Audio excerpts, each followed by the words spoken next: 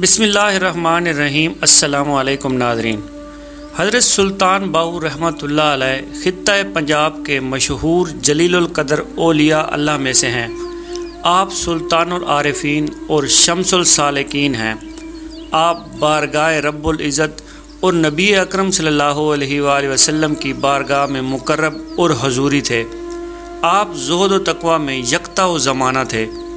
नाजरीन, आज की इस वीडियो में हम हज़रत सुल्तान रहमतुल्लाह अलैह की हालात ज़िंदगी, आपका हसब नसब, आपका ख़ानदान, आपकी तालीमत और आपकी करामात का ज़िक्र करेंगे। ये वीडियो थोड़ी लंबी हो सकती है, लेकिन मोहब्बत के साथ और अकीदत के साथ इसे आखिर तक लाजमी देखिएगा, क्योंकि ये वीडियो हज़रत सुल्तानुल आरिफीन रहमतुल्लाह के मुतालिक मालूम से भरपूर है। नाजरीन ग्रामी, हम यहाँ पर अर्ज़ करते चलें कि ये तमाम तार मालूम हज़रत सुल्तान बाहू रहमत की तसनीफ़ करदा किताब फ़िक्र और मनाकब सुल्तानी से ली गई हैं। अल्लाह तबारक व ताली पढ़ने में गलती कोताही को माफ़ फरमाए। नाजरीन, करबला के अलमनाक वाक़े के बाद सादात बनी फ़ातिमा गोशा नशीन हो गए थे और उनका सारा वक्त इबादत में गुजरता था। बाकी अलवी खिलाफत के दावेदार थे, इसलिए वो ईरान से होते हुए खुरासान आए। फिर अरबियों में से एक बहादुर शख्स शाह हुसैन ने हरात पर कब्ज़ा किया। शाह हुसैन के बाद उनके फ़र्जंद अमान शाह तख्त नशीन हुए। अमान शाह सादात बनी फ़ातिमा की बहुत ज़्यादा अनायत और इज़्ज़त किया करते थे। इसलिए उनकी औलाद ऐवान के लकब से मशहूर हुई। फिर सादात बनी फ़ातिमा और ऐवान तीन चार पुश्तों तक हरात में रहे। उसके बाद अब्बासियों के आखिरी अहद में ऐवान ने पंजाब का रुख किया। सादात बनी फ़ातिमा ने उच्च जवा सजन शाह और दंद शाह बिलावल को अपना मस्कन बनाया और इबादत और रियाजत में मशगूल हो गए। कबीला अवान के लोग काला बाग की तरफ़ बढ़े। उस वक्त गिरदो नवा के इलाके हिंदू राजाओं के कब्ज़े में थे। कबीला अवान के अफराद फितरतन, शुजा और जानबाज थे। इसलिए उन्हें हिंदुओं की बरतरी बिल्कुल काबिल कबूल न हुई। नतीजतन मकामी राजाओं और ऐवान के दरमियान कई खून रेज मारके हुए अंजाम कार ऐवान गालिब आए। फिर ऐवान ने अपने शहर और गाँव अलग अलग आबाद किए। उन शहरों में पिंड दादन खान और अहमदाबाद मशहूर हैं। उसी कबीला ऐवान में एक बुज़ुर्ग हज़रत बाजैद मोहम्मद अलैह भी थे।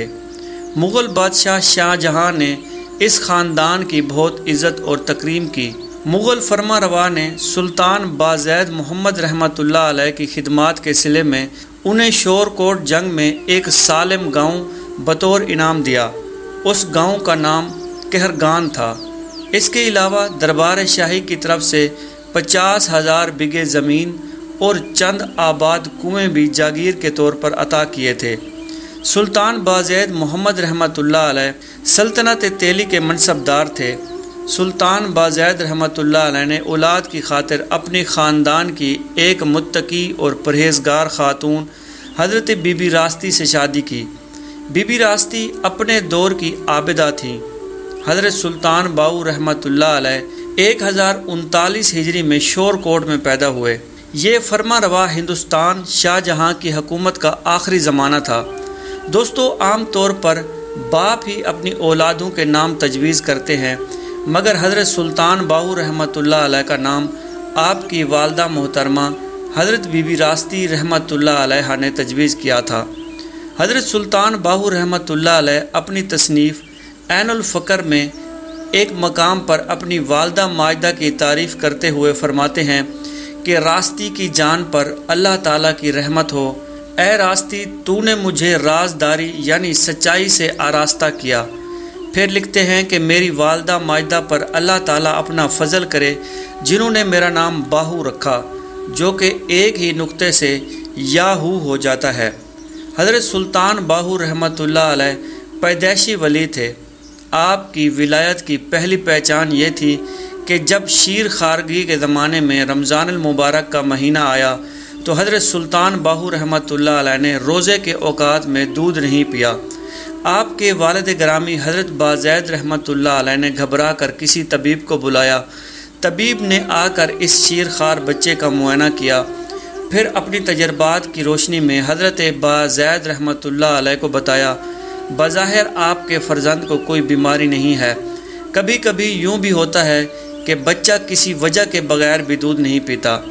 अगर मुसलसल 24 घंटे तक बच्चे की यही कैफियत रहे तो मुझे बताइएगा। ये कहकर तबीब चला गया। हज़रत सुल्तान बाहू रहमत ने दिन भर दूध नहीं पिया। जब अफ्तार के बाद नमाज़ मगरब से फारग होकर हज़रत बीबी रास्ती रहमत ने अपना दूध हज़रत सुल्तान बाहू रहमत को पिलाया तो आपने ज़ोक शौक़ से पी लिया। फिर दूसरे दिन भी यही वाक़ पेश आया। हज़रत सुल्तान बाजैद रहमत ला एक बार फिर परेशान होकर तबीब के पास जाने लगे। तो बीबी रास्ती रहमत ने शोहर को रोकते हुए फरमाया कि आप परेशान ना हों, आपका बेटा किसी मर्ज में मुबतला नहीं है, बल्कि इसका रोज़ा है और कोई रोज़ादार दिन के वक्त कोई चीज़ भी नहीं खाता पीता। हज़रत सुल्तान बाजैद रहमत ने बड़ी हैरत से शरीक हयात की बात सुनी। और फरमाने लगे कि आप देख लेना कि अफ्तार के बाद आपका बेटा बाहू दूध पी लेगा। हज़रत बीबी रास्ती ने शोहर को तसल्ली देते हुए कहा, और फिर ऐसा ही हुआ कि मगरब के बाद हसब सबक हज़रत सुल्तान बाहू रहमत ने पेट भर कर दूध पिया, और अब आपके वालिद सुल्तान बजैद को यकीन आ गया कि उनका बेटा पैदाइशी वली है। ये बात आस पास के इलाकों में मशहूर हो गई लोग हज़रत सुल्तान बाहू रहमत के चेहरे मुबारक की ज़ियारत के लिए आने लगे। जबकि आप उस वक्त शीर खारगी के ज़माने से गुज़र रहे थे। हज़रत सुल्तान बाहू रहमत सन बलूगत को पहुँचे तो एक रोज़ का वाक़ यह है कि आप रहमत कस्बा शोरकोट के करीब खड़े थे कि अचानक एक साहिब हशमत, साहिब नूर और बाजोक सवार नमदार हुआ। आपका हाथ पकड़कर घोड़े के पीछे आपको बिठा लिया। पहले तो आप डर गए, फिर कुछ देर बाद आपने उनसे पूछा कि आपकी तारीफ़ क्या है और मुझे कहाँ ले जाने का इरादा है। उस पाकिज़ा दिल सवार ने आपकी तरफ़ तवज्जा की और अपनी ज़ुबान दरखशां से इरशाद फरमाया कि मेरा नाम अली इब्न अबी तालिब है और मुझे हसब इरशाद हज़रत मोहम्मद मुस्तफ़ा अलैहि वसल्लम की बारगाह में आपको पहुँचाना है। ये सुनकर आप रहमत मुतमिन हो गए। थोड़ी देर बाद आप रहमत को हाजिर मजलिस किया गया। उस वक्त हज़रत अबू बकर सिद्दीक, हज़रत उमर फ़ारूक, हज़रत उस्मान गनी रज़ी अल्लाह तहो अहल बैत अतहार की नूरानी मजलिस में हाजिर थे। आपको देखते ही सबसे पहले हज़रत अबू बकर सिद्दीक रज़ी अल्लाह तु मजलिस से उठे और हज़रत सुल्तानआरफ़ीन से मुलाकात की और तवज्जो फरमा कर रुखसत हो गए। उसके बाद हज़रत उमर फ़ारूक रज़ी अल्लाह तहो फिर हज़रत उस्मान गनी रज़ी अल्लाह तहो ये सब बारी बारी उठे और आप पर तवज्जो फरमाई और मजलिस से रुखसत हो गए। अब उस मजलिस में सिर्फ़ अहल बैत अतहार रज़ी अल्लाह तहो अजमैन रह गए थे। कुछ देर बाद हजूर नबी अकरम सल्लल्लाहु अलैहि वसल्लम ने अपने दोनों दस्ते मुबारक मेरी तरफ़ बढ़ा दिए और इरशाद मुबारक फरमाया कि मेरे हाथों को पकड़ो। मुझे दोनों हाथ मुबारक से बैत किया और कुछ तलकीन फरमाई। आपके मुबारक हाथों के पकड़ने की देर थी कि मेरे लिए दर्जात और मकामात का कोई हिजाब बाकी ना रहा और नज़दीक और दूर की हर चीज़ यकसा दिखाई देने लगी। लूहे महफूज के तमाम पर्दे उठ गए। अव्वल व आखिर ज़ाहिर व बातिन एक जैसा हो गया। चुनाचे आप अपनी किताब फ़िक्र शरीफ में तहरीर फरमाते हैं कि मुर्शद कामिल ऐसा ही होना चाहिए जो तालब को एक ही नज़र में मरातब की इंतहा तक पहुँचा दे और तमाम हिजाबात को दूर करके उसे मुशाहदात में गर्क कर दे। सुल्तान और आरफीन रहमत फिर फरमाते हैं कि जब नबी पाक वसलाम मुझे तलकिन फरमा चुके तो सैदुलनसा हज़रत फ़ातिमा तो ज़हरा सलामुल्लाह ने मुझे फ़रमाया कि तू मेरा फ़र्जंद है। फिर मैंने हज़रत इमाम हसन और हज़रत इमाम हुसैन रज़ी अल्लाह तहुमा के कदमों को चूमा और उनकी ग़ुलामी का पट्टा पहना। सरकार दो आलम सल्लल्लाहु की तलकिन फरमाने के बाद मुझे इरशाद फरमाया कि खल के खुदा से मोहब्बत करना, क्योंकि तुम्हारा मरतबा दिन ब दिन बढ़ता रहेगा और हर घड़ी तरक्की पजीर होगा और ये अब तक ऐसा ही रहेगा।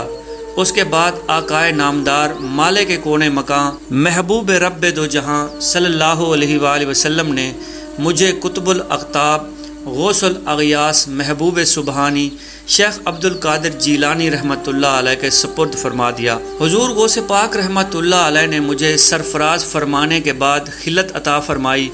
हज़रत सुल्तानफीन रहमत फरमाते हैं कि मैंने जो कुछ देखा, अपनी इन जहरी आँखों से देखा जो मेरे सर में मौजूद हैं और जो कुछ मैंने सुना अपनी इन कानों से सुना और मैं बमा जिसम मजलिस पाक में हाजिर था, उस रोज़ के बाद आप पर ज़ात इलाही के अनवार तजलियात की बारिश बरसने लगी। सैकड़ों आदमियों को आपने एक ही निगाह से, एक ही कदम पर खुदा रसीदा और वासिल बिल्ला कर दिया। चुनाचे लाखों तालिबान हक की मुरादें आपकी नज़र करम से बर आईं। हज़रत सुल्तान बाहू रहमत की बचपन से ही आदत थी कि आप सर मुबारक झुकाए रखते थे, लेकिन अगर रास्ता चलते वक्त आपने नज़र उठाकर किसी मुसलमान या किसी काफिर को देख लिया तो उसके जिसम पर लर्जा तारी हो जाता था और वो बेख्तियार होकर पुकार उठता था कि वल्ला, ये कोई बच्चा आम नहीं है और इसकी आँखों में अजीब रोशनी है।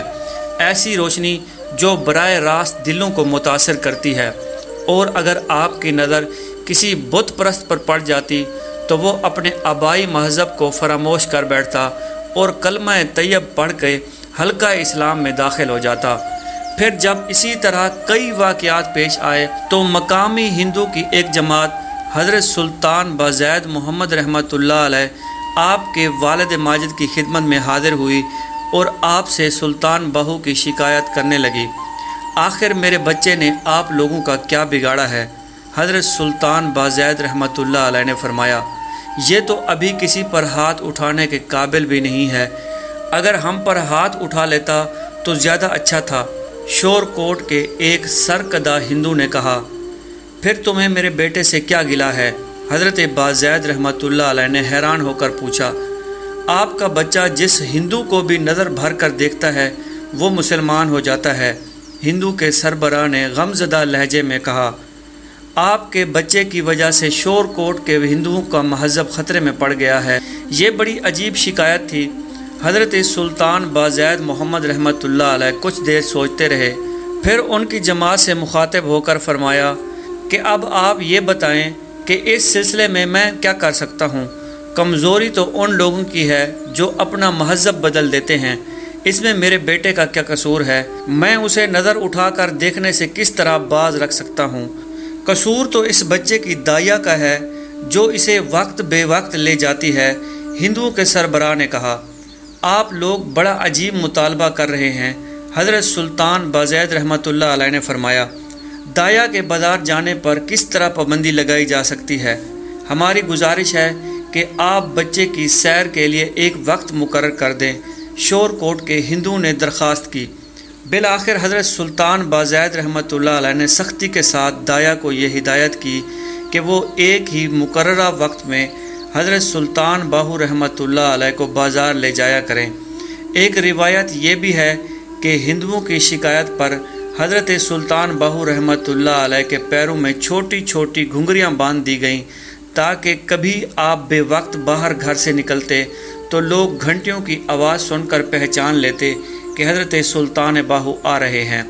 बहरहाल उनकी जमात मुतमिन होकर चली गई, मगर फिर भी उन्हें हज़रत सुल्तान बाहू रहमत की तरफ़ से एक अनजाना सा खौफ लाक रहता था कि पता नहीं कब उस हक परस्त बच्चे की नज़र उठे और किसी हिंदू के माथे पर जा पड़े और तिल्लत का काफिराना निशान वो खुरज डाले। शोरकोट के हिंदुओं ने एक मोमिन की नज़र से महफूज रहने के लिए अजीब गरीब इंतज़ाम किए हुए थे।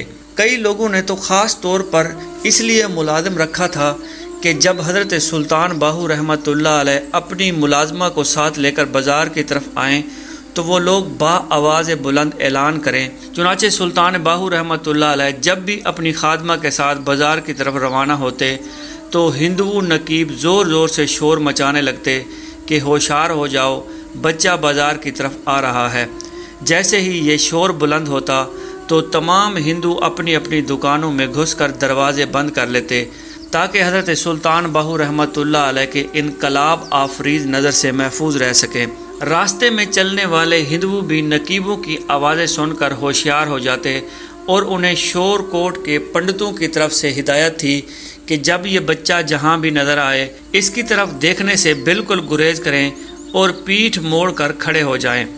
अलगर्ज इस कदर बंदिशों और एहतियातों के बावजूद, जब भी कोई बुत प्रस्त हज़रत सुल्तान बाहू रहमत की नज़र की जद में आ जाता तो वह मुसलमान हुए बगैर न रहता।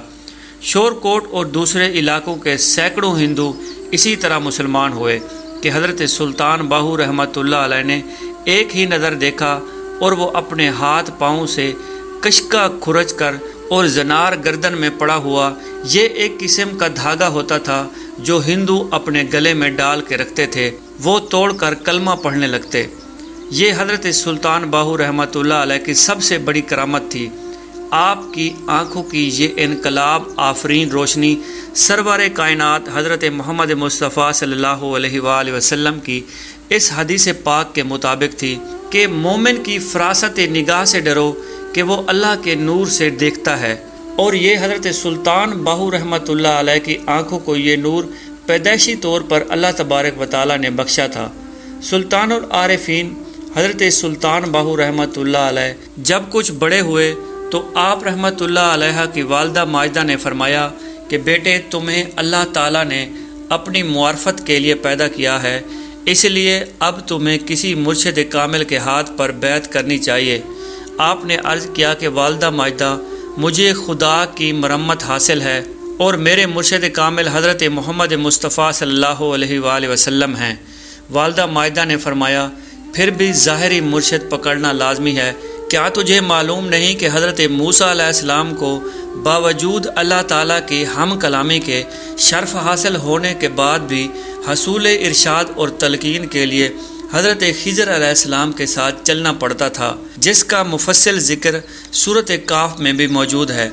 ये सुनकर आप रहमत ने अर्ज़ की कि आप मेरे लिए मुर्शिद काफ़ी हैं। आपकी वालदा माजदा ने फरमाया, बेटा, औरतों को बैत और तलकिन करने का हुक्म नहीं, क्योंकि उमहातुलमोमिन और सैदुलनसा हज़रत फ़ातिमा तो जहरा और राबिया बसरी रहमत ने भी किसी को बैत और तलकीन नहीं की। बस फिर मुझे बैत का हुक्म कैसे हो सकता है? आपने अर्ज़ की कि मैं मुर्शद कामिल कहाँ से तलाश करूँ? फरमाया कि बेटा, खुदा की ज़मीन पर चल फिर कर तलाश करो और अपने बाबरकत हाथ से इशारा मशरक़ की तरफ़ किया कि वहाँ जाओ और आप फ़ौर वहाँ से उठे और वालदा माजदा को सलाम किया और दरियाए रावी की तरफ़ चल पड़े। नाजरीन ग्रामी, यहाँ पर यह बताना भी ज़रूरी है कि हज़रत सुल्तान बाहू रहमत की मशरती ज़िंदगी उन सूफिया की तरह नहीं थी, जो कि तजरत की ज़िंदगी बसर करते हैं या फिर वीरानों, जंगलों और बयाबानों में चिल्ला कश हो जाते हैं। मुर्शिद की जस्तजू में रवाना होने से पहले हज़रत सुल्तान बाहू रहमत तीन शादियाँ कर चुके थे। और ज़ाहरी तौर पर यह सुन्नत की तकमील थी। आपको वालद मोहतरम की तरफ़ से विरसे में एक गाँव और पचास हज़ार बीघे की ज़मीन भी मिली थी। इसलिए आप आसूदा ज़िंदगी बसर कर रहे थे। मगर फिर भी रूह में एक इसतराब पोशीदा था, जिसकी वजह से आप मर्दान हक की सोबतें ढूँढने के लिए निकले थे। हज़रत सुल्तान बाहू रहमत मुख्तलिफ़ बुज़ुर्गों के मज़ारात मुबारक पर हाज़री देते हुए हज़रत मखदूम बहाउद्दीन ज़क्रिया मुल्तानी रहमत के आस्ताना आलिया पर हाजिर हुए। बहुत देर मराकबे की हालत में बैठे रहे। इसी दौरान सदरत सुल्तान बाहू रहमत पर नींद का गलबा हुआ। आपने ख्वाब की हालत में देखा कि सामने मखदूम बहाउद्दीन ज़क्रिया मुल्तानी रहमत तशरीफ़ फरमा थे। मुझे गौस पाक की तरफ़ से ये हुक्म हुआ है कि तुम्हारी दिलदारी करूँ। हज़रत मखदूम सुल्तान बहाउद्दीन ज़क्रिया मुल्तानी रहमत ने हज़रत सुल्तान बाहू रहमत को मुखातब करते हुए इरशाद फरमाया, फ़र्जंद, मुझे बताओ कि तुम्हें किस चीज़ की ज़रूरत है? आप रहमत ने अर्ज़ किया कि मुझे किसी चीज़ की ज़रूरत नहीं। जब आए हो तो खाली हाथ कैसे जाओगे? मखदूम बहाउद्दीन ज़क्रिया मुल्तानी रहमत ने फरमाया, मैं किसी चीज़ की ज़रूरत महसूस नहीं करता। हज़रत सुल्तान बाहू रहमत ने नहायत अदब और एहतराम के साथ अर्ज़ की। बस आपके चेहरे मुबारक की ज़ियारत मंसूर थी, सो मकसद हासिल हो गया। हज़रत मखदूम बहाउद्दीन ज़क्रिया मुल्तानी रहमत ने तीसरी बार इशाद फरमाया, फर्जंद, अपनी हाजत बयान करो। हज़रत सुल्तान बाहू रहमत ने अर्ज़ किया कि मखदूम, अगर ऐसा ही है तो फिर अपने शहर में एक पाकिज़ा आदमी का बाजू अता कर दीजिए। इन तुम्हारी ये ख्वाहिश बहुत जल्द पूरी होगी। हज़रत मखदूम बहाउद्दीन ज़क्रिया मुल्तानी रहमत ने फरमाया और तशरीफ़ ले गए। हज़रत सुल्तान बाहू रहमत की आँख खुली तो आपने मखदूम बहाउद्दीन ज़क्रिया मुल्तानी रहमत की रूह को इसाल सवाब किया और मज़ार मुबारक के अहाते से बाहर निकल आए। फिर शुमाल की जानब रवाना हुए। जहर की नमाज़ का वक्त आया तो हज़रत सुल्तान बाहू रहमत ने दरिया के किनारे वज़ू किया और अभी आप नमाज़ की नीयत बांधना ही चाहते थे कि आपको अपनी पुश्त की तरफ़ किसी आदमी की मौजूदगी का एहसास हुआ। हज़रत सुल्तान बाहू रहमत ने पलट कर देखा तो एक खूबसूरत हिंदू दोशीज़ा हाथों में जूते लिए खड़ी थी। हज़रत सुल्तान बाहू रहमत ने फ़ौर नज़र झुका ली और नामहरम ख़ातून से पूछा कि तुम कौन हो और यहाँ क्यों आई हो? आप रहमत के पीछे चलते चलते मेरे पाँव आबलू से भर गए हैं। उस हिंदू दोशीज़ा ने अपनी हालत जार बयान करते हुए अर्ज़ की, आखिर तुम्हें मेरी ताकुब करने की ज़रूरत क्यों पेश आई? हज़रत सुल्तान बाहू रहमत ने बदस्तूर नज़रें झुकाए हुए दरियाफ्त फरमाया, मैं मुल्तान के सहूकार की लड़की हूँ। हिंदू दुशीज़ा ने अर्ज़ की बहुत दिनों से मेरे दिल में एक अजीब सी खलश थी मुझे अपने हम महजब के लोगों का पूजा करने का ये अंदाज़ बिल्कुल पसंद नहीं था कि इंसान होते हुए पत्थर के मुजस्मों के आगे सर झुका दूँ। यही खलश मुझे हज़रत गौसल मलिक यानी मखदूम सुल्तान बहाउद्दीन ज़करिया मुल्तानी रहमत के मज़ार मुबारक पर ले गई मैंने यहाँ के मुसलमानों से सुना कि गौसल मलिक रहमत के दरबार से बेशुमार लोग फैज़ याब हो चुके हैं। मैं भी अपने दिल में यही ख्वाहिश लेकर आई थी कि शायद मेरा मुकद्दर भी जाग उठेगा। हुजूर सुल्तान बाहू रहमत ने आसमान की तरफ़ देखा और फिर फरमाया कि कहीं जोहर का वक्त गुजर न जाए, इसलिए तुम थोड़ा सा इंतज़ार कर लो, मैं नमाज़ अदा कर लूँ, फिर तुम्हारी खलश व इसतराब का हाल सुनूँगा। ये कहकर हज़रत सुल्तान बाहू रहमत नमाज़ के लिए खड़े हो गए। हिंदू दोशीज़ा बहुत ही करीब से इस मर्द मोमिन की इबादत के अंदाज को देख रही थी। उसे आप रहमत के रकू सजूद बहुत अजीब मालूम हो रहे थे। फिर हज़रत सुल्तान बाहू रहमत नमाज़ से फारग हो गए तो आपने हिंदू दोशीज़ा से पूछा, तुम्हारी जहनी खलश और तड़प अपनी जगह मगर तुम मुझसे क्या चाहती हो? एक कनीज अपने मालिक से उसके सिवा और क्या चाहेगी कि वो इसे अपने कदमों में गिरा पड़ा रहने दे? हिंदू दोशीज़ा ने हाथ जोड़ते हुए अर्ज़ की, मैंने आपको गौसल मलिक, यानी सुल्तान बहाउद्दीन ज़करिया मुल्तानी रहमत के मज़ार मुबारक में दाखिल होते हुए देखा था। जब आप बाहर तशरीफ़ लाए तो मैंने आपका चेहरा देखते ही मुसलमान हो गई थी।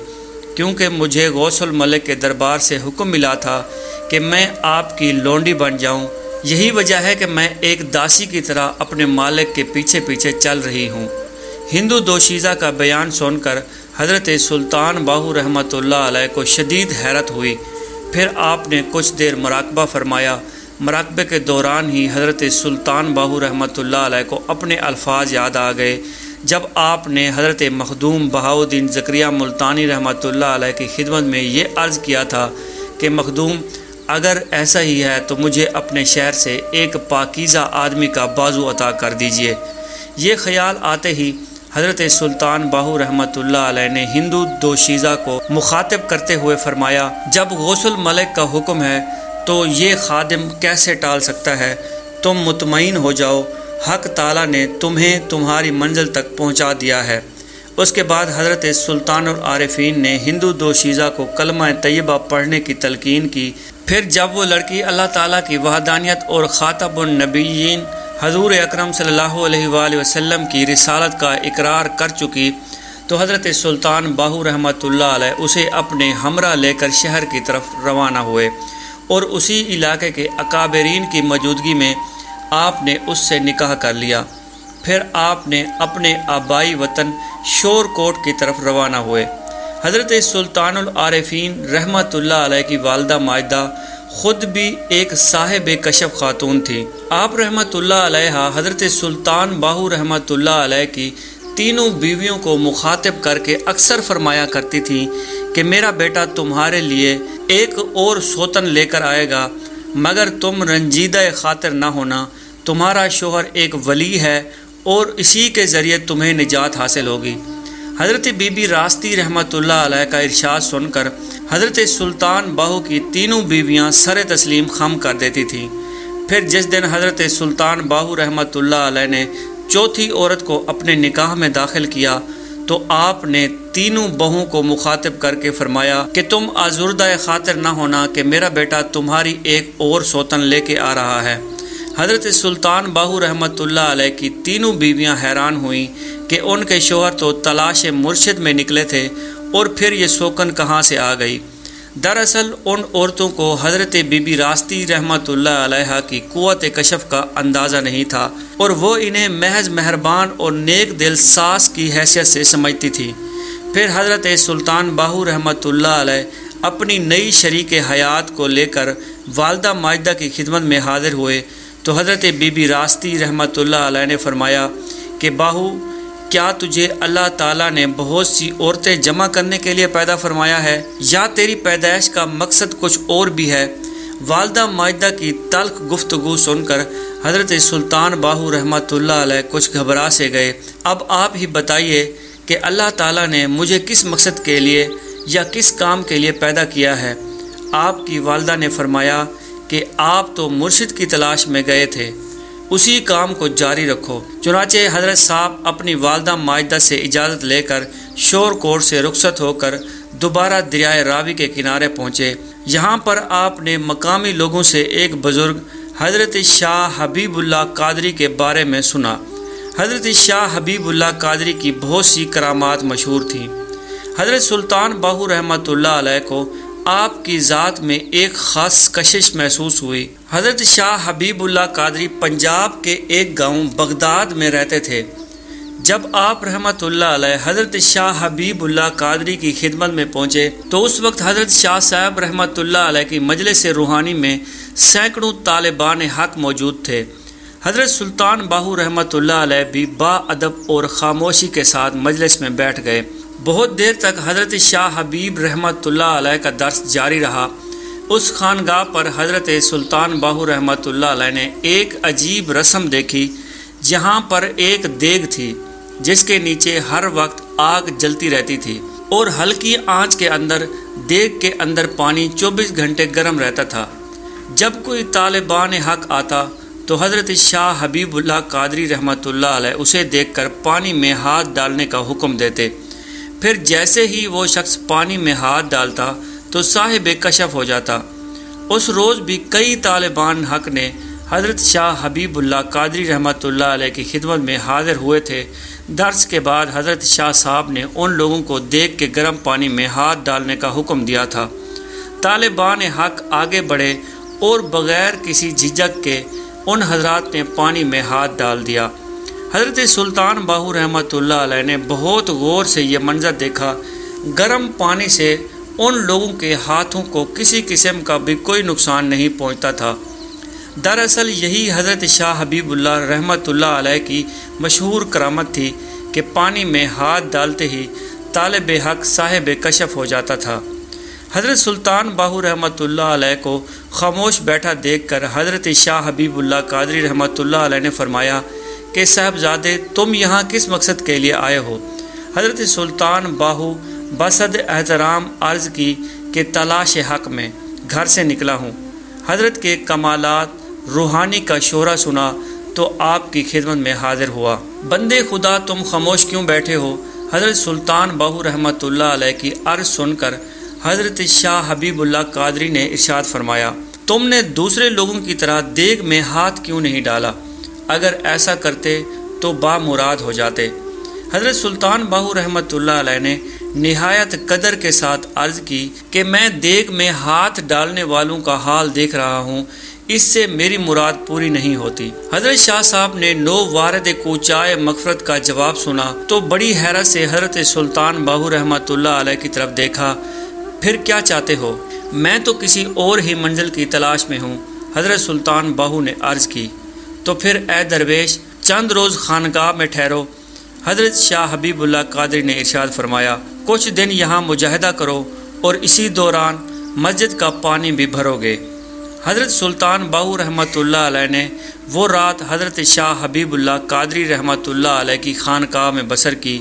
फिर दूसरे दिन खानकाह के मुंतज़मीन से पानी भरने के लिए मशक तलब की। उसके बाद हज़रत सुल्तान बाहू रहमत मशक लेकर दरिया के किनारे पहुँचे। मशक को पानी से लबरेज़ किया और खानकाह में हाजिर हुए। फिर यह एक अजीब वाक़ पेश आया कि हज़रत ने एक ही मशक में पूरा हौज़ भर दिया था, जबकि हौज़ को भरने के लिए कई मशकों की ज़रूरत होती थी। बाकी पानी से मस्जिद का सहन भी धो दिया। खानकाह के मुंतज़मीन बड़ी हैरत से ये मंज़र देख रहे थे। एक खादम ने अपने पीर व मुर्शद की खिदमत में हाजिर होकर ये वाक़ बयान किया कि ए शेख, इस नौजवान ने एक ही मशक में पूरा होश भर दिया है। हज़रत शाह हबीबुल्ला कादरी कुछ देर तक खामोश रहे। फिर खादम से फरमाया कि, उस नौजवान को मेरे पास भेज दो। हज़रत सुल्तान बाहू रहमत जब हज़रत हबीबुल्ला कादरी रहमत की खिदमत में हाजिर हुए तो शाह साहब ने इरशाद फरमाया कि, नौजवान क्या तुम्हारे पास दुनियावी मालो मता है? आपने अर्ज़ किया कि मुझे मेरे वालद मोहतरम की तरफ़ से ज़मीनी जागीर विरसे में मिली है। लेकिन मालो मता की मौजूदगी में तुम राह हक के दुशवार मुसाफत को किस तरह तय कर सकते हो? हज़रत शाह हबीबुल्ला कादरी ने इरशाद फरमाया तो आका, फिर मेरे लिए क्या हुक्म है? हज़रत सुल्तान बाहू रहमत ने अर्ज़ की माल दुनिया के होते हुए तुम्हें यकसूई कलब हासिल नहीं हो सकती। हज़रत शाह साहब ने फरमाया, फिर मालो मता से फारग हो जाओ, फिर यकसूई इख्तियार करो और इन तुम कामयाब रहोगे। चुनाचे हज़रत सुल्तान बाहू रहमत हज़रत शाह हबीबुल्ला कादरी रहमत के हुक्म पर अमल करने के लिए अपने आबाई वतन शोरकोट की तरफ़ रवाना हुए। अभी आप रास्ते में थे कि आपकी वालदा मोहतरमा हज़रत बीबी रास्ती रहमत ने अपनी चारों बहू को तलब करके फरमाया कि तुम लोग होशियार हो जाओ। हज़रत सुल्तान बाहू की बीवियों ने घबरा कर सास मोहतरमा की तरफ़ देखा कि आप किस तरह की ख़तरे की तरफ़ इशारा कर रही हैं। आप रहमत ने फरमाया कि मेरा बेटा यानी तुम्हारा शोहर सुल्तान बाहू आ रहा है। बीवियों के चेहरों पर खुशी का रंग नुमाया हो गया। उम्म मोहतरम, ये तो बड़ी खुशखबरी की बात है तुम्हारे लिए खुशी की कोई खबर नहीं। हज़रत बीबी रास्ती ने अपनी बहू को मुतनबे करते हुए इरशाद फरमाया, बाहू अपने पीरो मुर्शद के हुक्म पर सारा मालो मता लुटाने आ रहा है। हज़रत सुल्तान बाहू रहमत की बीवियाँ नेक तो थीं, मगर तारे की दुनिया नहीं थी, कि दुनियावी मालो मता से खुशी के साथ दस्तबरदार हो जाती। इसलिए उनके चेहरों से परेशानी के आसार झलकने लगे। बेहतर यही है कि तुम अपनी नकदी और जेवर बचा लो। हज़रत बीबी रास्ती ने बहू को हिदायत देते हुए फरमाया, बुरा वक्त कहकर नहीं आता। अगर तुम मेरी नसीहत पर अमल करोगी तो यही मालो मता तुम्हारे काम आएगा। मगर हम अपनी नकद रकम और जेवरात को किस तरह बचा सकती हैं? हज़रत सुल्तान बाहू रहमत की चारों बीवियों ने बायक्त ज़ुबान अर्ज़ की। उनकी समझ में कोई तरकीब नहीं आ रही थी। तुम सब लोग अपनी नकदी और जेवरात किसी ऐसी जगह रख दो, जहाँ सुल्तान बहू की नज़र ना पहुँच सके। हज़रत बीबी रास्ती ने बहू को ये मशवरा दिया। हज़रत सुल्तान बाहू रहमत की बीवियों ने ऐसा ही किया और सारे ख़तरार से बेनियाज होकर शोहर की आमद का इंतज़ार करने लगी। कुछ दिन बाद हज़रत सुल्तान बाहू रहमत शोर कोट पहुँचे और अपनी वालदा मोहतरमा की खिदमत में हाजिर हुए। सुल्तान बाहू, तुम इतनी जल्दी कैसे लौट आए? हज़रत बीबी रास्ती ने फरजंद से पूछा, क्या तुम्हें कोई मुर्शद नहीं मिल सका? वालदा मोहतरमा, मुर्शद तो मिल गया है, मगर शेख ने बैत करने के लिए एक कड़ी शर्त रखी है। कैसी शर्त? हज़रत बीबी रास्ती ने पूछा, अगरचे आप अपने कशफ के सबब सूरत हाल से बाखबर थी, मगर सुल्तान बाहू रहमत की आजमाइश के लिए आपने ये सवाल किया था। मुर्शिद का हुक्म है कि अपने मालो मता दुनिया से निजात हासिल कर लो। हज़रत सुल्तान बाहू रहमत ने अर्ज़ की, फ़र्जंद, हुक्म शेख पर अमल करो। हज़रत बीबी रास्ती ने फरमाया, हज़रत सुल्तान बाहू रहमत ने अपने फ़र्जंद अकबर नूर मोहम्मद की तरफ़ देखा, जो कि गहवारे में सोए हुए थे। नज़र बद से बचाने के लिए उनकी उंगली में सोने की अंगूठी डाली हुई थी। हज़रत सुल्तान बाहू रहमत आगे बढ़े और शीर खार बच्चे की उंगलियों से वो अंगूठी उतारी और उसे मकान के पीछे गली में फेंक दिया हज़रत साहब ने सोने की अंगूठी गली में फेंकने के बाद अपनी बीवियों से मुखातिब होते हुए फरमाया कि अगर घर में कुछ और मालो मता है तो वो भी ले आओ, ताकि मैं उससे भी निजात हासिल कर सकूँ। बीवियों ने इस सूरत हाल से बहुत परेशान थी और शोहर की बात का कोई भी जवाब ना दे सकी। उनकी जगह हज़रत बीबी रास्ती रहमत ने फरमाया कि इस घर में माल कहाँ?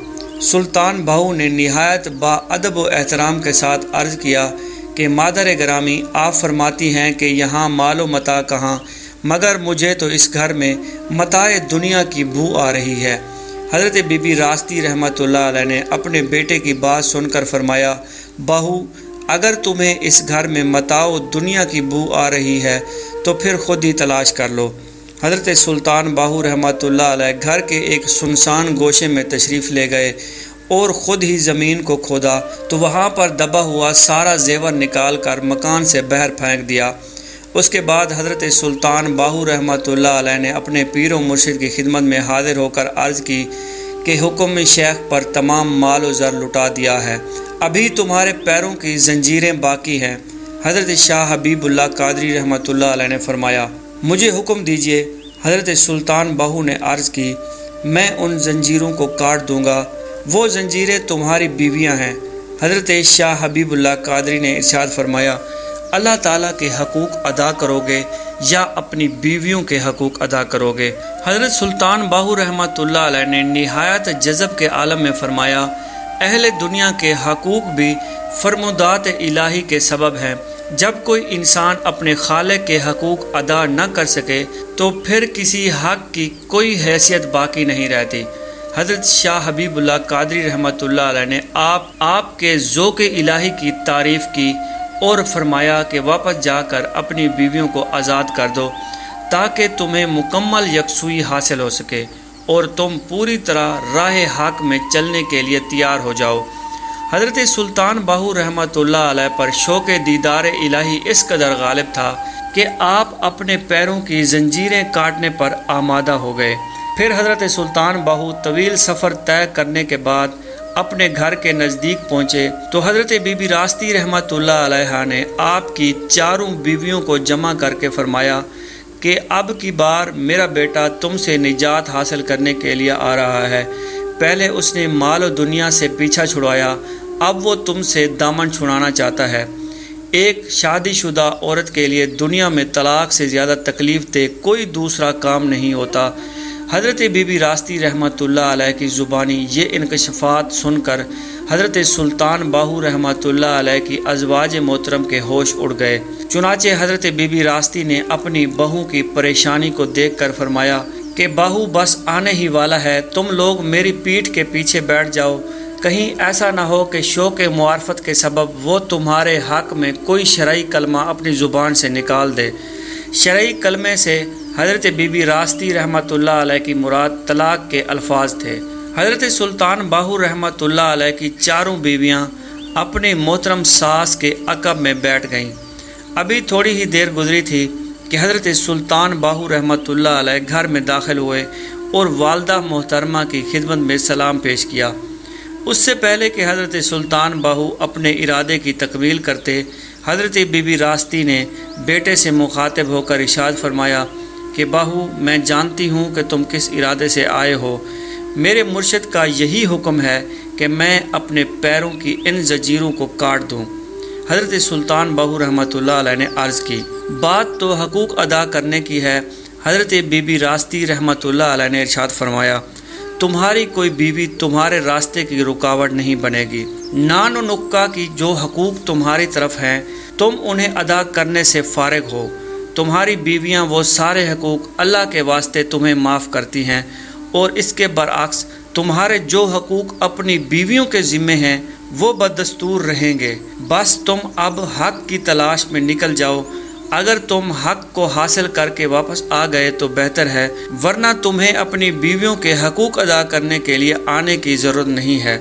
हज़रत सुल्तान बाहू रहमत ने अपनी हयात मुबारक में शरीयत का बहुत ही लिहाज रखा था। इसलिए आप पर वालदा मोहतरमा के कलाम का बहुत ज़्यादा असर हुआ। फिर आपने अपनी बीवियों को मुखातब करते हुए फरमाया कि अगर तुम अपने हकूक़ माफ़ कर दो तो मैं तुम्हें तलाक दिए बगैर वापस चला जाऊँगा। चारों बीवियों ने ज़बानी तौर पर अपने तमाम हकूक़ माफ़ कर दिए। हज़रत सुल्तान बाहू रहमत दोबारा मुर्शद की खिदमत में हाजिर हुए। नाजरीन मनाकब सुल्तानी में ये सारे वाक़ात इसी तरह तहरीर किए गए हैं, जिस तरह हम आपको सुनाने की कोशिश कर रहे हैं। नाजरीन तलाश हक में माल दौलत और दुनियावी माल मता लुटा देना कोई खिलाफ शर अमर नहीं, बल्कि अल्लाह ताला की सच्ची किताब कुरान पाक में चौथे सिपारे की इब्तदा भी इसी आयत मुकदसा से होती है कि तुम उस वक्त तक नेकी को नहीं पा सकते, जब तक तुम अपनी महबूब तरीन शह कुर्बान न कर दो। यही वजह है कि चंद सूफिया कराम को छोड़कर दुनिया के तमाम मशाइ ने बेजरी और फ़क्र कनात की ज़िंदगी बसर की और इसी तरह शदीद तकालीफ उठाकर नेकी को हासिल किया। यहाँ नेकी से मुराद रज़ाए इलाही है।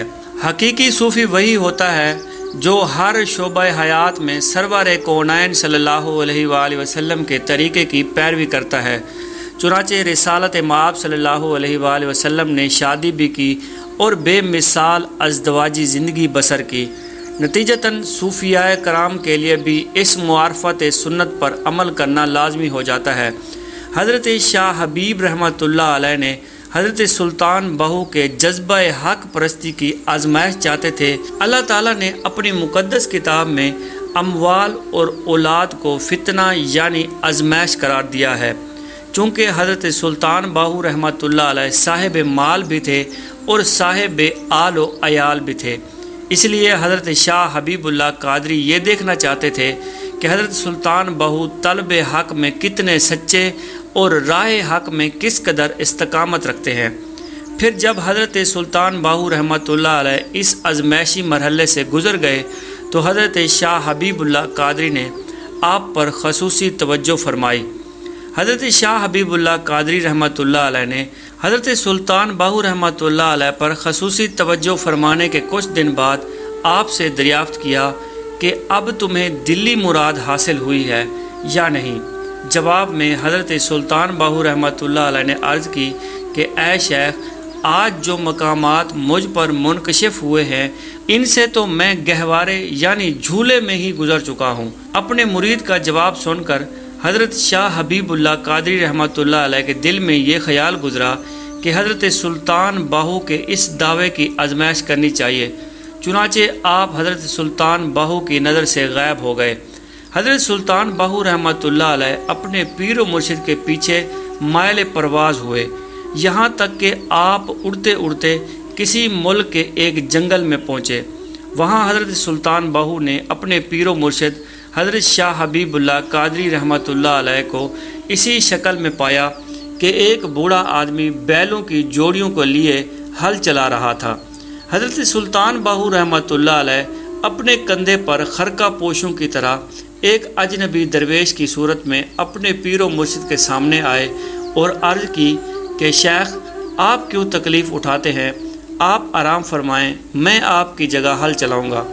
ये सुनकर हज़रत शाह हबीबुल्ला कादरी रहमत अपनी असल सूरत में ज़ाहिर हुए और उसके साथ ही हज़रत सुल्तान बाहू रहमत भी अपनी हकीकी शक्ल इख्तियार कर ली। फिर दोनों ने एक दूसरे का हाथ पकड़ा और एक तरफ़ रवाना हो गए। फिर रास्ते चलते चलते हज़रत शाह हबीबुल्ला कादरी नज़रों से ओझल हो गए। हज़रत सुल्तान बहू रहमत ने भी उसी दरवेश की शक्ल इख्तियार की और अपने पीर मुर्शद के ताक़ब में उनके पीछे गुम हो गए। यहाँ तक कि आपने हज़रत शाह हबीबुल्ला कादरी को एक हिंदुओं के शहर में देखा। उस वक्त शाह साहब एक बूढ़े ब्राह्मण की सूरत में जलवा अफरोज़ थे। आपके हाथों में एक बर्तन था, जिसमें ज़ाफ़रान और दूसरे में रंग भरे हुए थे। हज़रत सुल्तान बाहू रहमत ने देखा कि आपके पीरो मुर्शद बाज़ार में मौजूद हिंदुओं के माथे पर तिलक लगा रहे हैं। चुनाचे आपने फ़ौर अपना जहरी हुलिया बदल दिया और एक हिंदू नौजवान की सूरत इख्तियार करके एक दुकान पर बैठ गए थे। फिर हज़रत हबीबुल्ला कादरी उधर से गुजरे तो हज़रत सुल्तान बहू रहमत दुकान से उतर कर पीर मुर्शद के सामने खड़े हो गए और अर्ज़ करने लगे कि, बाबा, मेरी परेशानी भी यही है, मुझ पर भी तिलक लगाइए। हज़रत हबीबुल्ला कादरी रहमत सूरत हाल से वाकिफ़ होकर अपनी असली हालत में वापस आए तो हज़रत सुल्तान बहू का हाथ पकड़कर एक तरफ़ रवाना हो गए। फिर तीसरी बार भी ऐसा हुआ कि हज़रत शाह हबीबुल्ला कादरी अचानक चलते चलते नज़रों से गायब हो गए। हज़रत सुल्तान बहू भी वही रास्ता इख्तियार किया और अपने पीरों मुर्शिद के पीछे पीछे हो लिए। अब की बार हज़रत सुल्तान बहू रहमत ने अपने पीरों मुर्शिद को एक इस्लामी शहर में मौजूद पाया कि हज़रत शाह हबीबुल्ला कादरी एक गैर मरूफ मस्जिद में तशरीफ़ फरमा है और बहुत से कम सिन बच्चों को कुरान पाक के कायदे की तालीम दे रहे हैं। ये मंजर देख कर हज़रत सुल्तान बाहू रहमत भी एक छोटे से बच्चे की सूरत में कायदा लेकर हाजिर हुए और पीर मुर्शद से दरख्वास्त करने लगे कि, शेख, मुझे भी ये सबक पढ़ाइए। यह सुनकर हज़रत शाह हबीबुल्ला कादरी ने कम सिन बच्चे यानी उस तालब इल्म की तरफ़ देखा और एक ही नज़र में पहचान लिया कि ये कोई मकामी बच्चा नहीं है, बल्कि आपके मुरीद हज़रत सुल्तान बाहू रहमत हैं। हज़रत हबीबुल्ला कादरी रहमत मस्जिद से बाहर तशरीफ़ लाए और हज़रत सुल्तान बहू का हाथ पकड़कर अपने गाँव बगदाद, पंजाब में आए। फिर हज़रत सुल्तान बाहू रहमत को मुखातब करते हुए फरमाया कि ए दरवेश, तुम जिस नेमत के मुस्तक हो, वो हमारे इम्कान से भी बाहर है। नाजरीन ग्रामी, ये तमाम तर वाक़ जिस तरह हम आपके गोश गुजार कर रहे हैं, ये तमाम तर्क वाक़ात किताब मनाकब सुल्तानी में मौजूद हैं। नाजरीन ग्रामी, फिर हज़रत सुल्तान बाहू रहमत ने फरमाया कि, शेख मोहतरम, मैं कहाँ जाऊँ? अर्ज़ की कि हम तुम्हारी रहनमाई कर सकते हैं। हज़रत शाह हबीबुल्ला कादरी रहमत ने इरशाद फरमाया, अब तुम्हारा मुकद्दर है कि तुम वहाँ से कितना फैज़ हासिल कर सकते हो।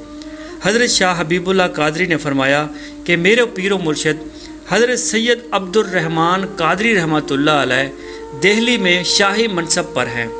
तुम उनकी खिदमत में हाजिर हो जाओ। हज़रत सुल्तान बहू ने हज़रत शाह हबीबुल्ला कादरी से इजाज़त ली और दिल्ली की तरफ़ रवाना हो गए। जब आप दिल्ली के करीब पहुँचे तो हज़रत सैयद अब्दुलरहमान कादरी रहमत की मजल से दर्स आरास्ता थी। मुरीदैन खुदाम और अकीदतमंद सफ़े बांधे दस बस्ता बैठे थे। शेख की ज़बान से हर बार से इसरार मानी की बारिश हो रही थी। हाजरीन पर पुरकैफ व सरार की अजीब कैफियत तारी थी। हज़रत सैयद अब्दुलरहमान काजी रहमत ने दर्स रोक दिया और एक खादिम से मुखातिब होकर फरमाया कि फ़लाँ रास्ते से इस हुलिया का एक दरवेश आ रहा है। उसे इज़्ज़त और एहतराम के साथ हमारी खानकाह में हाजिर करो। हाजरीन मजलिस ने बड़ी हैरत से शेख की बातें सुनी। आखिर वो कौन से बुज़ुर्ग हैं जिनका एहतराम इस कदर किया जा रहा है? मजलिस दर्स में मौजूद हर शख्स का इश्तिशाक बढ़ता जा रहा था कि हज़रत सुल्तान बहू रहमत खानकाए कादरिया में दाखिल हुए। अहल नज़र ने फ़ौर ही पहचान लिया कि आने वाला कौन था। हज़रत सुल्तान बहू के चेहरे मुबारक से शान विलायत जहर थी। मगर जो साहिब नज़र नहीं थे, उन्होंने आपको एक रिवायती दरवेश समझा। मनाकब सुल्तानी के मुताबिक, हज़रत सुल्तान बाहू रहमत ने हज़रत सैयद अब्दुलरहमान कादरी को हाजरीन मजलिस की खिदमत में सलाम पेश किया। हज़रत शेख रहमत जवाब देते हुए अपनी निशात से उठे और हज़रत सुल्तान बहू का हाथ पकड़कर खलवत में ले गए। हज़रत सुल्तान बहू की रस्म बैत अदा की। हज़रत सुल्तान बहू ने एक कदम में और एक ही दम में अपनी अदली नसीबा पा लिया। अदली नसीबे से मुराद इंसानी तकदीर का वो हिस्सा जो कि रोज़ अजल लोहे महफूज पर तहरीर कर दिया गया था। हज़रत सैयद अब्दुलरहमान कादरी ने हज़रत सुल्तान बहू को चंद लम्हों में उनका रूहानी हिस्सा अता किया और उसी वक्त खानकाह से रुखसत कर दिया। वो जुमा का दिन था। हज़रत सैयद अब्दुलरहमान कादरी रहमत से फैज़ याब होने के बाद हज़रत सुल्तान बहू दिल्ली की बाज़ारों में गश्त करने लगे। मनाकब सुल्तानी की रिवायत के मुताबिक हज़रत सुल्तान बहू रहमत ने हर ख़ास व आम पर तवज्जो की नज़र डालना शुरू कर दी, जिसके नतीजे में मखलूक खुदा पर बहुत ज़्यादा मुतासर होने लगी। शहर में हर तरफ़ शोर गुल मच गया कि तालिबान दीद का इस कदर हजूम हुआ कि रास्ते बंद हो गए। फिर यह खबर उठते उठते हज़रत सैयद अब्दुलरहमान कादरी रहमत की खानका तक पहुँच गई। चंद खुदाम ने हज़रत शेख के हजूर अर्ज़ की कि सैदी आजकल शहर दिल्ली में एक दरवेश आया हुआ है और उसके फैज़ रूहानी का चर्चा आम है। हज़रत सैयद अब्दुलरहमान रहमत ने अपने खुदाम की बात सुनी तो फरमाया कि वो दरवेश दिल्ली में किस मकाम पर सकूत पजीर है। खुदाम ने अर्ज़ की कि दरवेश का कोई मुस्तकिल ठिकाना नहीं है। वो दिल्ली के बाज़ारों में घूमता रहता है और खड़े खड़े मुआरफत की दौलत लुटा देता है। हज़रत सैयद अब्दुलरहमान रहमत ने अपने खिदमतगारों को हुक्म देते हुए फरमाया कि उस दरवेश से जाकर दरियाफ्त करो कि वो कौन है और कहाँ का रहने वाला है, किस ख़ानदान का है और किस सिलसिले से ताल्लुक़ रखता है। हज़रत सैयद अब्दुलरहमान रहमत के खिदमतगार पीर मुर्शिद के हुक्म में दिल्ली के बाज़ार में पहुँचे। वहाँ दरवेश के अकीदतमंदों की भीड़ लगी हुई थी। हज़रत शेख कादरी रहमत के खुदाम ने बड़ी मुश्किल से जगह बनाई और दरवेश तक पहुँचने में कामयाब हुए। मगर जब उनकी नज़र दरवेश के चेहरे पर पड़ी तो वो हैरत में पड़ गए। दरवेश की सूरत देखते ही हज़रत सैयद अब्दुलरहमान कादरी रहमत के खुदाम उल्टे कदमों वापस आए और पीर मुर्शद की खिदमत में अर्ज़ करने लगे कि सैदी ये तो वो दरवेश है जिसे आपने कुछ दिन पहले हल्का बैत में शामिल फरमाया था अपनी खिदमतगारों की ज़बानों पर यह इनकशाफात सुनकर हज़रत सैयद अब्दुलरहमान कादरी रहमत का चेहरा रंजीदा हुआ और आप रहमत के चेहरा मुबारक से अजियत व कर्ब के आसार झलकने लगे। फिर आपने अपने खिदमतगारों से फरमाया कि बड़ा गज़ब हो गया, उस दरवेश को फ़ौर मेरे पास ले आओ। पीर मुर्शद का हुक्म सुनकर खुदाम तेज़ रफ्तारी के साथ बाज़ार में पहुँचे। और हज़रत सुल्तान बाहू रहमत को अपने हमरा लेकर खानकाह में वापस आए। तुमने ये क्या किया? सुल्तान बहू को देखते ही पीरो मुर्शद ने इंतहाई नाखुशगवार लहजे में फरमाया सैदी क्या खादम से कोई गलती हो गई? हज़रत सुल्तान बाहू रहमत ने नहायत ही एहतराम से अर्ज़ किया, हमने क्या ये नेमत ख़ास तुम्हें इसलिए अता की थी कि तुम इसे आम कर दो? हज़रत सैयद अब्दुलरहमान रहमत के लहजे से बदस्तूर नागवारी का रंग झलक रहा था। पीरो मुर्शद के इस सवाल के जवाब में हज़रत सुल्तान बाहू ने अर्ज़ की कि सैदी जब कोई बूढ़ी औरत रोटी पकाने के लिए कोई तवा बाज़ार से ख़रीदती है तो उसे ठोक बजा कर देखती है कि ये कैसा काम करेगा। और इसी तरह जब कोई लड़का कुमान ख़रीदता है तो उसे खींच कर चेक कर लेता है कि इसमें मतलूबा लचक मौजूद है भी या नहीं। अगर उसमें लचक ना हो तो वो उसे नहीं खरीदता। सो मुझे जो कुछ नेमत उज़मा आपकी ज़ात ग्रामी से हासिल हुई थी, मैं उसकी आजमाइश कर रहा था। और मैं ये जानना चाहता था कि मुझे आपसे किस कदर नेमत अता हुई है और आपकी हकीकत क्या है। इसी तरह एक दिन सुल्तान आशिकीन हज़रत सुल्तान बाहू रहमत को एक कोशादा रास्ते पर लेटे हुए कुछ लोगों ने देखा। अचानक उसी रास्ते से हिंदू सन्यासी की एक जमात गुजरी। हज़रत सुल्तान बाहू को रास्ते में लेटा हुआ देखा तो हिंदू सन्यासी रुक गए। फिर एक हिंदू जोगी ने आपको ठोकर से उठाते हुए कहा कि सो रहे हो, मर्दान हक सोते हुए भी जागते हैं। हज़रत सुल्तान बाहू रहमत ने लेटे लेटे हुए फरमाया। हिंदू सन्यासी ने कहा कि फिर उठो और हमें बताओ कि ये रास्ता किस तरफ़ जाता है। हज़रत सुल्तान बाहू रहमत ने उठते ही फरमाया कि रास्ता तो एक ही है, ला इलाहा मोहम्मद रसूल अल्लाह सन्यासी ज़रब ला इलाह को बर्दाश्त न कर सके और खौफ व दहशत के सबब ज़मीन पर गिर पड़े। फिर सुल्तान हज़रत सुल्तान बाहू रहमत ने हिंदू जोगियों की हालत को देखते ही फरमाया कि अब तुम किस रास्ते पर जाना चाहते हो? सन्यासियों ने लदरजते हुए लहजे में कहा कि आप जिस रास्ते की तरफ़ इशारा किया है, हमें उसी रास्ते पर चलना है। हज़रत सुल्तान बाहू रहमत ने हिंदू जोगियों पर खसूसी तवज्जो फरमाई। बुत परस्तों के उस ग्रोह ने उसी वक्त अपने माथों से निशानात कुशके खुरच डाले। और काफराना लिबास को उतार कर फेंक दिया। रिवायात में आता है कि सुल्तान बहू रहमत की नज़र करम से वो तमाम हिंदू सन्यासी खुदाए वाहिद पर ईमान ले आए और रूहानी सफ़र में इस तरह चले कि सब के सब अब्दाल के मरतबे पर फैज़ हुए। मुर्शद कामिल हज़रत सैयद अब्दुलरहमान कादरी रहमत से फैज़ याब होने के बाद हज़रत सुल्तान बहू रहमत के जज्बात की वारफ्तगी में मज़ीद इजाफ़ा हो गया। अब आप पर हम वक्त एक इसतराब की कैफियत तारी रहती थी। फिर यही इसतराब रूहानी हज़रत सुल्तान बहू रहमत को पहाड़ों, जंगलों और सुनसान मकामात की तरफ़ ले जाता था। शेख कराम के मुताबिक सहर सियात, फ़कर और दरवेशों के आला मकामात में से सहर सियात की फजीलत के बारे में हज़रत इमाम गज़ाली रहमत अपनी शहर अफाक तसानीफ़ अहियालूम और कीमिया सदत में तहरीर फरमाते हैं कि दरवेशों के लिए पहाड़ों, बयाबानों और जंगलों की सियाहत इसलिए ज़रूरी है कि हर दरख्त के पत्ते पर इसरार इलाही में से एक राज लिखा होता है। दरवेश इल्म लदूनी के ज़रिए इन राजों को समझते हैं और अलूम बातनी की तकमील करते हैं। दूसरे सूफिया की तरह हज़रत सुल्तान बाहू रहमत को भी इल्म लदूनी हासिल था। मगर आपकी सहर सियात बर सग़ीर पाक व हिंद के इलाकों तक महदूद थी। लेकिन फिर भी हज़रत सुल्तान बहू की हयात मुबारक का बेशतर वक्त सहर सियात में गुजरा। इसी दौरान आपने बेशुमार मुशाहे किए और बहुत से लोगों को अपनी बातनी नेमत से भी सरफराज फरमाया। एक बार हज़रत सुल्तान बाहू रहमत पंजाब के शुमाल में वाक़ पहाड़ी इलाके में से गुज़र रहे थे। कि आपने एक नो उम्र लड़के को देखा जो कि गाय चरा रहा था। लड़का आप रहमत को देखकर आपके पीछे पीछे चलने लगा। आपने उस लड़के को बहुत समझाया कि वापस चला जा और अपनी गाय का ख्याल रख। तेरे घर वाले तुझे तलाश करेंगे, लेकिन वो लड़का ना माना। आखिर आप रहमत उसे अपने साथ लेकर कोहे शमाल की तरफ़ रवाना हो गए।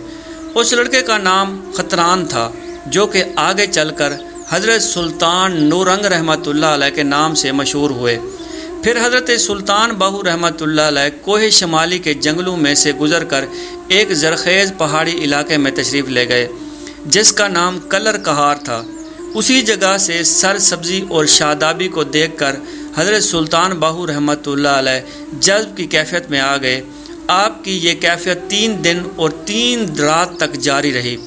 उस वीरान में गैर आबाद इलाके में ना कोई खाने का इंतज़ाम था और ना कोई पीने का। हज़रत सुल्तान बाहू के मुरीद, हज़रत सुल्तान नूरंग कथरान अपनी रियाजत और मुजाहदे के इब्तदाई मरहले से गुजर रहे थे। इसलिए भूख और प्यास की शिदत बर्दाश्त न कर सके और आखिर मुस्तरब होकर शेख की खिदमत में अर्ज़ करने लगे कि हुजूर भूख से बड़ा बुरा हाल है। हज़रत सुल्तान बहू ने अपने मुरीद की फरियाद सुनकर मुराकबे से सर उठाया और आँखें खोलकर हज़रत सुल्तान नूरंग किथरान की तरफ़ देखा और फरमाया कि, फ़र्जंद, क्या बात है? शेख, अब भूख से बुरा हाल है। भूख बर्दाश्त नहीं होती। हज़रत सुल्तान नूरंग कितरान ने इंतहाई मुस्तरब लहजे में अर्ज़ की। हज़रत सुल्तान बहू रहमत मुस्कराए और फरमाया कि बरात आशका पर शाह के अबवा यानी आशकों का हिस्सा हिरन के सींगों पर होता है। जैसे ही हज़रत सुल्तान बाहू की ज़ुबान मुबारक से ये अल्फाज अदा हुए, पहाड़ के एक गोशे से एक हिरन बरामद हुआ। उसके सींगों पर खाने का एक खान रखा हुआ था और उसकी गर्दन से पानी से भरा हुआ एक आब खोरा भी लटक रहा था। हज़रत सुल्तान बाहू रहमत ने अपने मुरीद को हुक्म दिया और फरमाया कि अल्लाह की बख्शी हुई नियमतों से इफ्तार करो। यह कहकर हज़रत सुल्तान बाहू रहमत ने ख़ुद भी इसी से इफ्तार फरमाया। हज़रत सुल्तान नूरंग तीस साल तक अपने मुर्शद पाक रहमत की खिदमत में रहे। सफ़र हजर में शेख की इस कदर खिदमत की कि महबूबियत की मंजिल तक पहुँच गए। यहाँ तक कि हज़रत सुल्तान बाहू रहमत को आप रहमत ने खिलाफत से सरफराज किया। नादरीन ग्रामी एक दफ़ा का ज़िक्र है कि हज़रत सुल्तान बाहू रहमत चंद दरवेश के हमरा डेरा गाजी खां के सफ़र की तरफ़ रवाना थे कि रास्ते में एक गाँव पड़ता है। ये गाँव उसी इलाके के मशहूर बुज़ुर्ग आदिल गयासुद्दीन दिग बरा रहमत के रोज़ा मुबारक के करीब है। हज़रत सुल्तान बाहू रहमत जब यहाँ पर पहुँचे तो चाश्त का वक्त था। साथी दरवेशों ने अर्ज़ किया कि हुजूर अगर हुक्म हो तो कुछ देर इसी गाँव में ठहर कर यहाँ पर रोटियाँ पका लें। हज़रत सुल्तान बाहू रहमत ने इजाज़त दे दी। मुरीदों ने लोगों से पूछा कि हमने रोटी पकानी है, यहाँ हमें किसी के घर रोटी पकी पकाई मिल जाएगी? तो लोगों ने कहा कि यहाँ एक बुज़ुर्ग माई है और वो मुसाफिर बुज़ुर्ग की बहुत खिदमत करती है। हज़रत सुल्तान बहू उस औरत के घर तशरीफ़ ले गए, जो कि मुसाफिर दरवेशों की खिदमत किया करती थी। हज़रत शेख के साथी दरवेश उस औरत के साथ मिलकर खाना पकाने में मशगूल हो गए। तो उस औरत की एक छोटी सी शीर खार बच्ची थी, जो कि झूले में सो रही थी। इत्तफाक से वो उस वक्त जाग उठी, जब माँ काम में मसरूफ़ थी। बच्ची ने बेदार होते ही रोना शुरू कर दिया। तो औरत जो कि काम कर रही थी, वो काम को छोड़कर नहीं आ सकती थी इसलिए उसने वहीं से बैठे बैठे हज़रत सुल्तान बाहू रहमत से मुखातब होकर फरमाया कि, बाबा, मेरी बच्ची के पंगूड़े को हिला दें ताकि ये खामोश हो जाए और मैं इतमान से अपना काम कर सकूँ। हज़रत सुल्तान बाहू रहमत आगे बढ़े और बच्ची के गहवारे को आहिस्ता आहिस्ता हिलाने लगे और साथ में ही बुलंद आवाज़ में, अल्लाह अल्लाह हो की ऐसी ज़रबे लगाई कि बच्ची खामोश होकर सो गई। फिर जब वो औरत अपने काम से फारग हुई तो उसने हज़रत सुल्तान बाहू रहमत से कहा कि, बाबा, तेरा शुक्रिया। तेरी वजह से मेरी बच्ची सो गई है और मैंने अपने सारे काम ख़त्म कर लिए हैं। हज़रत सुल्तान बाहू रहमत ने फरमाया कि, माई, हमने सिर्फ़ गहवारे को ही जुम्बश नहीं दी, बल्कि तेरी बच्ची के दिल को भी जुम्बश दी है। और ऐसी जुम्बश दी है कि क़यामत तक इसमें कमी नहीं होगी, बल्कि इसमें दिन ब दिन ज़्यादती होती रहेगी। फिर ऐसा ही हुआ कि हज़रत सुल्तान बाहू रहमत तो अपने सफ़र पर रवाना हो गए, मगर एक मर्द हक की नज़र कीमिया ने शीर खार बच्ची की काया पलट दी। ये बच्ची जवान होकर हज़रत फ़ातिमा के नाम से मशहूर हुई और हज़रत फ़ातिमा रहमत का ताल्लुक़ बलोचों के कबीले मस्तोई से था। आपका मदार मुबारक कस्बा फ़तेह खां और किला गड़ांग के करीब है। आज भी लाखों ज़ायरीन फ़ातिहा खानी के लिए हज़रत फ़ातिमा के रोज़े पर हाज़री देते हैं। नाजरीन ग्रामी, एक बार हज़रत सुल्तान बाहू रहमत शहर बकर में तशरीफ़ ले गए। उस वक्त वहाँ पर एक साहिब कशफ बुज़ुर्ग हज़रत शेर शाह रहमत सकूत पजीर थे। हज़रत शेर शाह के मुरीद और खलीफा शेख सुल्तान तैयब थे, जो कि औलाद नरीना से महरूम थे। शेख तैयब ने अपने मुर्शद हज़रत शेर शाह से भी इस सिलसिले में कई बार दुआ कराई थी, मगर कुदरत को कुछ और ही मंजूर था। फिर जब शेख सुल्तान तैयब ने हज़रत सुल्तान बाहू रहमत की आमद की खबर सुनी तो आपकी खिदमत आलिया में आर्ज होकर दुआ के तालब हुए। उसी वक्त हज़रत सुल्तान बाहू रहमत के पास दो सेब रखे थे। शेख तैयब सुल्तान की दरख्वास्त सुनकर हज़रत सुल्तान बाहू ने फरमाया कि ये दोनों सेब लेकर चले जाओ और अपनी बीवी को खाने के लिए दे दो। हक ताला तुम्हें दो फर्जंद अता करेगा। उन दोनों फर्जंदों में एक तुम्हारा होगा और दूसरा हमारे लिए। शेख, मैं उन दोनों फर्जंदों में तफरीक कैसे करूँगा? सुल्तान तैयब ने अर्ज़ की, ये तुम्हारा काम नहीं है। हज़रत सुल्तान बाहू रहमत ने फरमाया जो फर्जंद हमारे काम का होगा, वो अपनी निशानी लेकर पैदा होगा। शेख सुल्तान तैयब रहमत सेब लेकर खुशी खुशी चले गए। उन दोनों सेबों में से एक सेब कुछ दागदार था, जिसको किसी परिंदे ने खा लिया था। अलगर्ज शेख सुल्तान तैयब के दो फर्जंद पैदा हुए। आपने एक का नाम सुल्तान अबद रखा और दूसरे का नाम सुल्तान सुहारा। सुल्तान अबद रहमत पैदाइशी मजजूब थे और हज़रत सुल्तान बाहू रहमत ने इसी की तरफ़ इशारा करते हुए फरमाया था। नाजरीन, एक दफ़ा का वाक़ है कि सुल्तान बाहू खेती बाड़ी में मसरूफ़ थे। पंजाब के किसी दूर दराज इलाके में एक ख़ानदानी शख्स रहा करता था, जिसकी कई बेटियाँ थीं। जो शादी के काबिल हो गई थी, मगर वो शख्स अपने घराने का भरम रखने के लिए उजला लिबास पहना करता था, जिसे देखकर अहले मोहल्ला समझते थे कि वो माली तौर पर आसूदा हाल है। इस जहरी हालत से मुतासर होकर उसके अच्छे ख़ानदान के लोगों ने उसकी बेटियों के लिए रिश्ते भेजे। मगर वो अंदरूनी तौर पर इस काबिल नहीं था कि बेटियों की शादी का इंतज़ाम कर सके। आखिर एक दिन वो अपने मसाइल से परेशान होकर किसी बुज़ुर्ग की खिदमत में हाजिर हुआ और कहने लगा कि, शेख, मेरा ताल्लुक़ सादात के ख़ानदान से है। मैंने बहुत अच्छा वक्त गुजारा है, मगर सफ़ेद पोशी के सिवा कुछ भी बाकी नहीं बचा। लोग समझते हैं कि मैं मालदार शख्स हूँ, मगर हकीकत यह है कि दो वक्त की रोटी भी मुझे मैसर नहीं है। अपनी ज़िंदगी तो गुजार चुका हूँ, मगर बेटियों का बोझ बर्दाश्त नहीं कर सकता। कर्जदार हर वक्त दरवाज़ों पर खड़े रहते हैं। आप रहमत मेरे हक़ में दुआ फरमाइए। अल्लाह ताला मुझे इन मुश्किल से निजात फरमा देगा। बुज़ुर्ग कुछ देर तक सैयदजादे की हालत इजार पर गौर करते रहे फिर माजरत आमेज़ लहजे में कहने लगे कि तुम्हें जो बीमारी लाक है, इसकी दवा मेरे पास नहीं है, और मेरी दुआ में इतनी तासीर नहीं है कि तुम्हारे घर के हालात ठीक कर सके। मगर इसका मतलब ये भी नहीं है कि अल्लाह की इस ज़मीन पर मुस्तजाब दावात बंदू से खाली है। मैं तुम्हें एक ऐसे शख्स का पता देता हूँ, जिसकी ज़ुबान में बहुत तासीर है, और वो मर्द हक इस वक्त चनाब के किनारे शोर कोट में रहता है। उसके आस्थाने पर हाजिरी दे दो, अल्लाह ताला तुम्हारी मुश्किल आसान फरमाएगा। ये सुनकर उस सैयदजादे के चेहरे पर कुछ देर रंजो अलम का गुबार चल उठा और वो तेज़ आंधियों में उम्मीद का चिराग जलाए शोर कोट पहुँचा। उस वक्त हज़रत सुल्तान बाहू रहमत बहुत मामूली लिबास पहने हुए अपनी ज़मीन पर हल चला रहे थे। अगर कोई अजनबी शख्स हज़रत शेख को इसी हालत में देखता तो यही राय कायम करता कि हल चलाने वाला कोई मुफलिस किसान है। सैयद साहब ने भी हज़रत सुल्तान बाहू रहमत के बारे में यही सोचा और दिल ही दिल में अफसोस करने लगा कि मेरा सफ़र रह हो गया। जो शख्स खुद इतना परेशान हाल है, वो किसी दूसरे की मदद क्या कर सकता है? यही ख्याल करके सैयद साहब वापस जाने लगे। अभी वो वापस मुड़े ही नहीं थे कि हज़रत सुल्तान बहू रहमत ने उन्हें आवाज़ दी और उन्हें अपनी तरफ़ बुलाया और फरमाया कि सैयद इतना तवील सफ़र इख्तियार किया, मौसम की सख्तियाँ बर्दाश्त की, फिर हमसे मुलाकात किए बगैर वापस जा रहे हो। आपके मुँह से अपना नाम सुनकर वो सैयद साहब बड़े हैरान हुए। घोड़े की पोश से फ़ौरन बड़ी अकीदत के साथ नीचे उतरे। हज़रत सुल्तान बहू रहमत की खिदमत में सलाम पेश किया और अपने सफ़र करने की वजह बयान करने लगे।